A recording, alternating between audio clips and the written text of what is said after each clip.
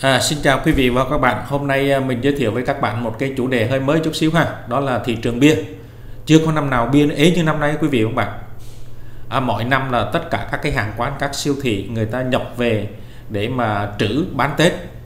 À, nhưng năm nay là người ta không dám nhập luôn. À, có nhiều người mua các cái cửa hàng người ta mua từng chục thùng mà coi như là cả tháng nay rồi bán không được thùng nào. Còn các cái trung tâm thương mại, các cái siêu thị à, tung ra các cái chương trình khuyến mãi giảm giá nhưng mà cũng không đâu vào đâu. Các cái công ty xí nghiệp mỗi năm thì à, trước trước chừng khoảng 4 năm tuần là người ta đã đặt hàng rồi để người ta làm quà người ta ờ, à, biếu Tết rồi này kia không? Cho công nhân rồi cho đối tác rồi này nọ. Nhưng năm nay à, cũng bạch âm vô tính nghĩa là không có tín hiệu gì hết. À, đây là những cái à, hạt rượu bia à, quá trời luôn nào người ta đã biết rồi khuyến mãi từ sớm nhưng mà vẫn không ăn thua chỉ còn chừng 3 tuần nữa là tới uh, Tết Nguyên đán rồi. 3 4 tuần nữa là Tết rồi. Nhưng mà thị trường bia bọt thế chưa từng thấy. Thì uh, cái lý do mình đi tìm hiểu như thế này quý vị và bạn này hiện tại uh, mình đang chạy trên đường uh, Tân Sơn này. À, bên tay trái quý vị là sân bay Tân Sơn Nhất gần cái sân gôn luôn á. Ở trên cái trục đường này thì uh, nói chung là đường khá đẹp lớn à, nhưng mà cái tình trạng mua bán ế ẩm vô cùng người ta cho thuê nhà trả mặt bằng. Đầy lên trên trên cái trục đường luôn đầy luôn.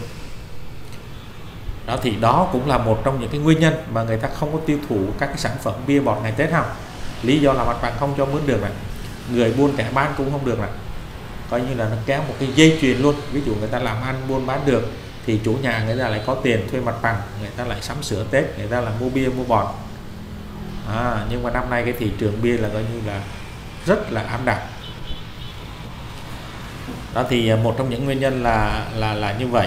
À, lý do gì là công an việc làm thì không có người ta sắp thắt chặt cái chi tiêu lại. À, bây giờ những cái tháng cuối Tết rồi mà chưa thấy uh, lương uh, lương tháng 13 hoặc là thưởng như thế nào nhiều công ty vẫn chưa công bố. Uh, chưa có vẫn chưa công bố. À, cho nên cái người lao động người ta không biết là thực hư như thế nào và có được tiền ăn Tết hay không à, cho nên là thời điểm này vẫn như nó bình chân như vậy quý vị. À, không có không khí ngày Tết gì trơn á. Thì không biết là những cái ngày cuối năm nó sẽ như thế nào gần tới uh, cuối năm thì người ta như thế nào. Nhưng tại thời điểm này là như vậy. Đó trên cái trục đường này quý vị các bạn thấy không? Cửa hàng cái đồ là này kia là hầu như là đóng cửa. Người ta làm ăn buôn bán không được mà. Đặc biệt là các cái quán nhậu. Đó bây giờ các cái quán nhậu tiếp tục trả mặt bằng à, tiếp tục sang nhiều quán ở trên trục đường này cũng có vài quán rồi. Chút xíu mình đi qua bên Tân Phú cũng có một vài quán à, như vậy. À, tại vì đây là ban ngày ban đêm các bạn đi cái thấy cái nó am đạm hơn nữa. Người ta bày biển ra ghế bàn đồ rất là đẹp rất là ngon lành nhưng khách khứa thì không có. À, cho nên à, à, mình thấy là đúng là cuối năm rồi. Mà tình hình cũng à, chưa có gì sáng sủa hết quý vị. Nhất là cái thị trường bia bọt đó hiện tại uh, bia thì uh, giá cả như mình nói là các cái siêu thị người ta khuyến mãi rất nhiều. À, bia bia Heineken là 440 ngàn một thùng. Còn uh, bia Tiger bia Tiger thì uh, chỉ còn 340 thôi. Đó, bia Tiger 340 nói chung thì so với mỗi năm nó thì nó không có tăng ha không có tăng. À, và như mình đã nói là bây giờ là cái tình hình cuối năm như vậy. À, giá cả công việc à, thì à, người ta cái thu nhập người ta hẹp lại đó. Rồi bây giờ vừa rồi à, báo chí cũng có đăng là công an sẽ tiếp tục từ đây tới Tết qua Tết cũng vậy luôn. À, là lực lượng chức năng người ta sẽ kiểm tra nồng độ cồn tất cả các cái tuyến đường kể cả trong hẻm. À, trong hẻm là người ta kết hợp với công an phường rồi này kia xã rồi này nọ ha người ta kết hợp luôn nghĩa là đã nhậu rồi là phải đi ráp thôi đi xe công cộng thôi chứ mà đi ờ, đi xe Honda mà tự chạy xe rồi này kia là thế nào cũng dính không thoát được.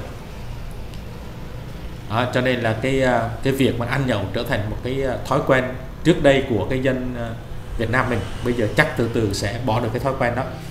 À, nếu mà các cái cơ quan chức năng làm quyết liệt thì mình nghĩ sẽ như vậy. Và thị trường bia thì tiếp tục lao đao ê ẩm không? Đây quý vị các bạn thấy không? Cuối năm rồi mà các cái mặt bằng đẹp như thế này đây. À, treo bảng cho thuê cho mướn quá trời.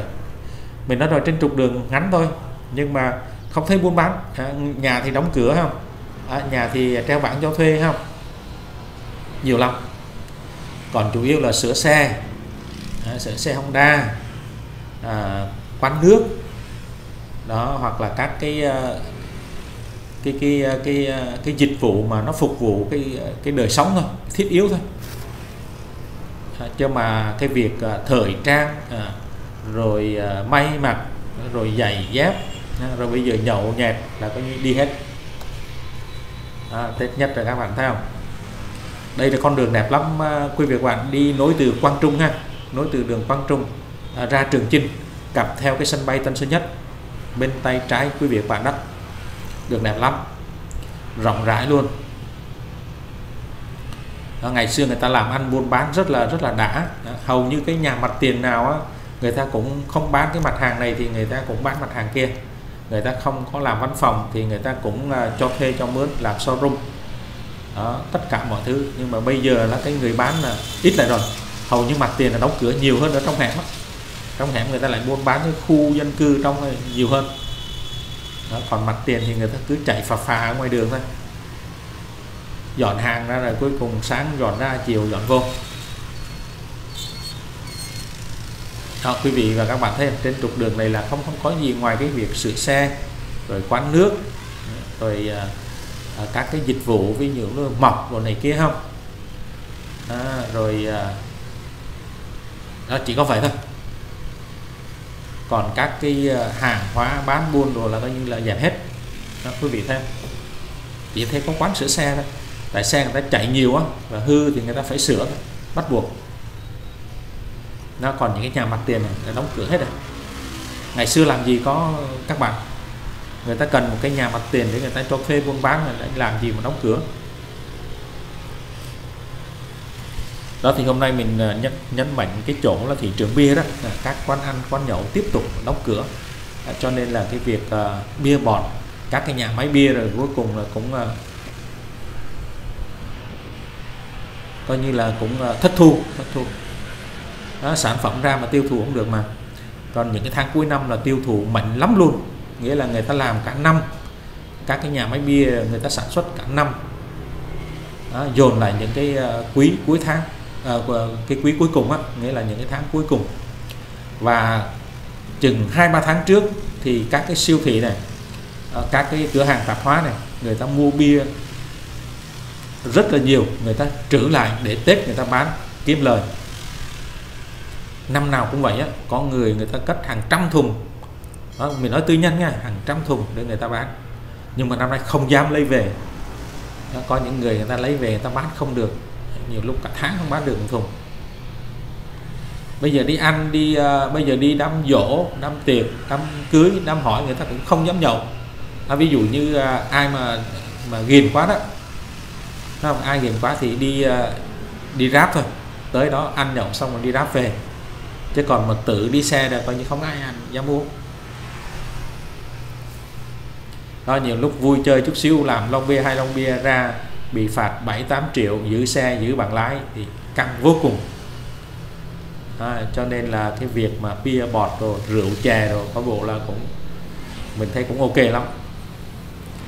À, ngày xưa cứ nhậu tới bên một hai ba vô. Những cái ngày cuối năm mà chiều các bạn đi làm về hầu như các quán nào đều rầm rộ luôn.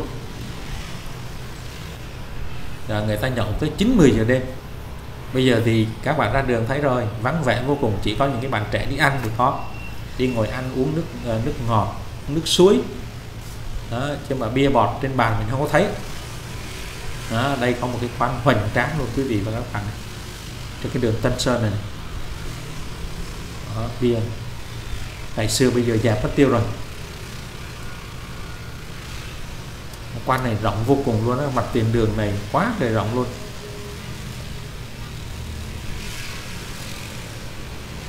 Đó, các bạn nhìn thấy không? Trong phim luôn. Có cái nhà gỗ đồ này kia thôi ha, đẹp quá trời. Mặt bằng rộng. Bây giờ là là bỏ luôn rồi. Đó, cho nên là mình đã, thôi chia tay nhau từ đây là đó, quán là chia tay bia. Quán nhậu là người ta dẹp thì bia là cũng à, cũng phải ế thôi. Đã chia tay nhau từ đây là như vậy. Đó cho hồi xưa những cái quán này một ngày như vậy người ta tiêu thụ biết bao nhiêu là bia quý vị các bạn. Nhiều lắm. À, rồi các cái anh em ờ, thợ nhất là thợ hồ ha. Hồ chiều thứ bảy. Ui giờ mấy anh ờ, nhận lương rồi mấy anh tập trung ra mấy anh nhậu khí thế luôn. Nhiều lúc bốn năm anh em làm hai bát thùng. À, thì người ta không có nhậu bia sang người ta không nhậu can hoặc Tiger đâu người ta bia Sài Gòn người ta làm tới rồi à, nhưng mà bây giờ là coi như là à, chịu. Bây giờ không ai dám uống luôn. Và đặc biệt ha đặc biệt bây giờ mình có một cái thấy hay quý vị nè. Mình đi đám tiệc á đám dỗ á. À, tới mọi người mời nhưng mà nói lái xe một cái á, chút xíu chạy xe về là người ta không bao giờ người ta mời nữa người ta không ép luôn. Đó, đó là một cái hay đó mình thấy một cái thói quen nó bắt đầu được hình thành nó hay vô cùng. Ta không ép nói là lái xe cái là người ta không mời nữa à, cái đó là cũng một cái ý thức người ta được nâng lên đó, nâng tầm lên rồi đó. Đó tại vì vui vẻ chút xíu uống với nhau ly bia chút xíu mà ra cái cái cái cái phiền toái á ờ, rất là rất là nặng. Đó, cho nên người ta nghĩ là cái lợi và cái hại thì người ta coi như là từ chối. Đó là một cái rất hay. Đó quý vị các bạn thấy một cái quán bia như vậy. Làm lên rồi thuê mặt bằng rồi ha cũng đặt cọc vài tháng ví dụ vậy đó rồi trang trí rồi làm theo cái ờ, cái cái ờ, cái cái cái, cái trang trí cái trưng bày cái quán nhậu á thiết kế theo cái mô hình mà người ta thích đó đó chỗ để xe nhân viên bàn ghế như thế nào đây, đây những cái nhà này quý vị không? Đó cũng tốn tiền lắm quý vị. Đó, rồi nhà vệ sinh sân bãi tốn tiền lắm chứ. Nhưng mà làm vài tháng không được cái là gồng gánh không nổi cuối cùng phải tan ta chia tay nhau thôi. Không thể nào mà mà mà, mà duy trì được. Đó quý vị các bạn thấy mình nói trên cái trục đường đẹp như này đó vỉa hè đường xá nhà cửa rộng rãi này mà từ đầu đường tới đây các bạn thấy chừng cây số mới chưa tới cây số đâu. Mà hầu như cái nhà đóng cửa nhiều hơn cái nhà mở cửa.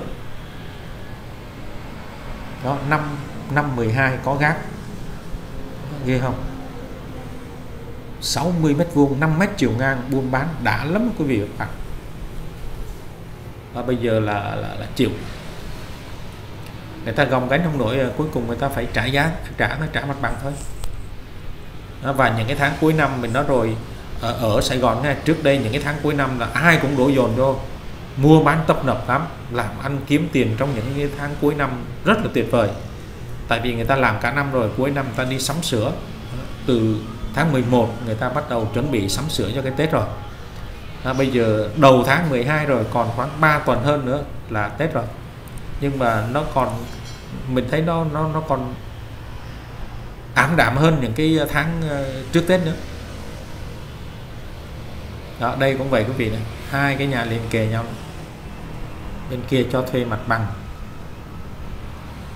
Bên này trang phục thể thao mà cũng mất tiêu luôn rồi.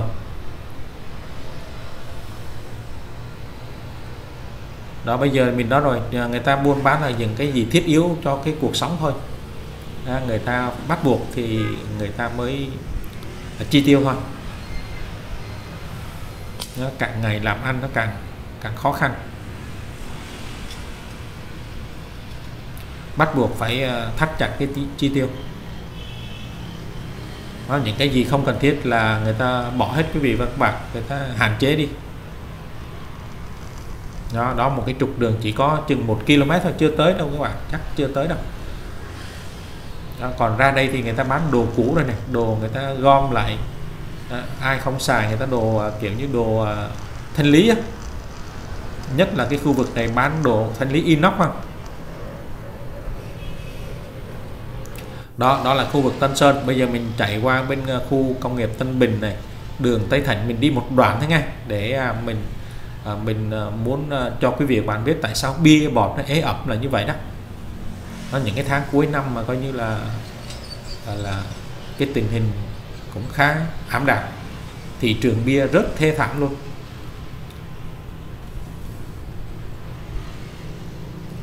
Đó thì uh, như những cái nguyên nhân mình đã nói đó mặt bằng trả này không không có dân nhậu là cuối cùng trả thôi và không có dân tiêu thụ thì phải chịu thôi đó, bia sản xuất ra là coi như tồn kho.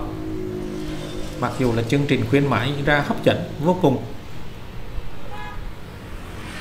Đó, đây cũng một cái quán rất lớn thôi quý vị này. Quán lớn ghê không?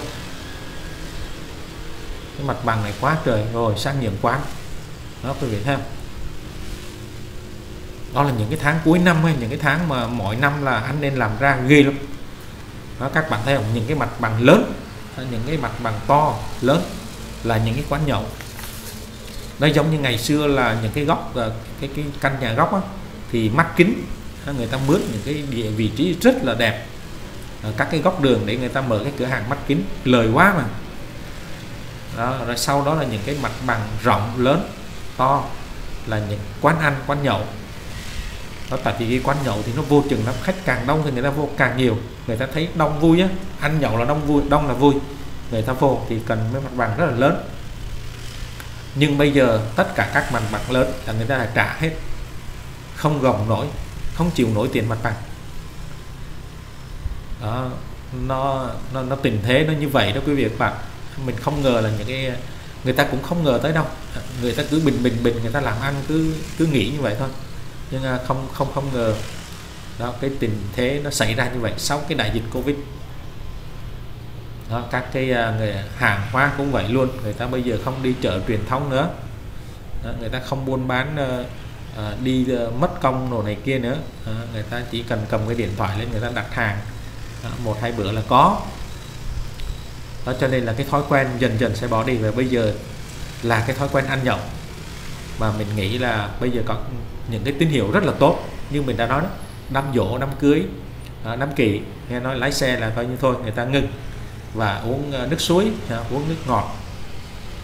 Thói quen khá hay. Thì nói chung cái ăn nhậu thì cũng tốt thôi nhưng mà nó vừa phải có những cái tệ nạn của nó theo cái sau cái ăn nhậu nó say xỉn đó nó xảy ra nhiều cái chuyện nó không hay. Đó, nhưng mình nghĩ là bây giờ không lái xe là nhậu không lái xe là tuyệt vời thì mình giảm được cái tai nạn giao thông nó giảm được cái sự va quẹt rồi cử cãi rồi đánh nhau. Nhiều lắm xảy ra trên đường nhan nhản luôn. Đó, bây giờ nó khác hoàn toàn ha quý vị và các bạn. Đó, cho nên hôm nay Sài Gòn Camera muốn đề cập tới cái thị trường bia nó ế ẩm và tiếp tục những cái mặt bằng người ta vẫn trả và sang nhượng. Đó là cái thực tế những cái ờ, ngày cuối năm ha quý vị và các bạn ha. Rồi cảm ơn quý vị và các bạn đã theo dõi video à, Sài Gòn Camera xin kết thúc tại đây. Hẹn gặp lại quý vị và các bạn trong những cái video tiếp theo. À, xin thân ái chào tạm biệt.